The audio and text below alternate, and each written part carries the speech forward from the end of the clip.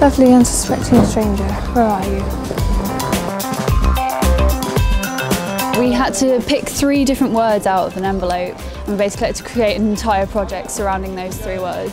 One of the biggest things we've had to learn is how to put up an exhibition and actually take it down again. I learned how to quite work quite fast. We only got about nine days. Like we didn't know that we were going to give it away. It's a, it's a bit kind of, are they going to just throw it in the bin or are they Yeah. actually going to do something with it?